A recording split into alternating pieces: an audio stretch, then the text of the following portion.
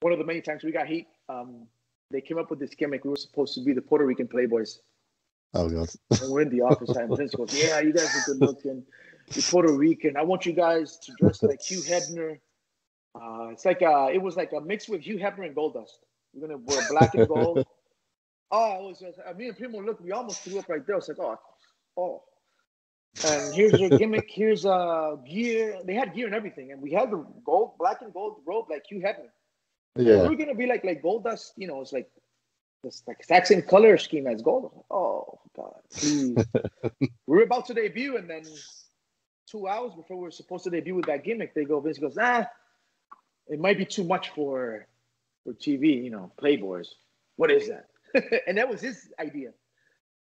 So then we get called into the office. He goes, "Yeah, I want you guys to uh, sell me Puerto Rico.